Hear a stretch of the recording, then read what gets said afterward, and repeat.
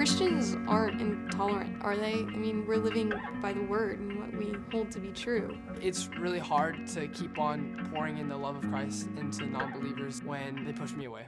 Let me ask you a question.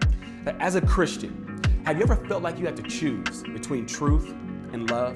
Maybe for you, you have a friend who you know isn't living the way that they can or should. And you wrestle with the idea of should I love my friend and ignore the truth? Or should I stand on the truth and reject my friend? I wanted to share her the truth, which evidently to me was loving her best. Where is it appropriate to introduce the truth in a loving way, and where is it more appropriate to just be loving?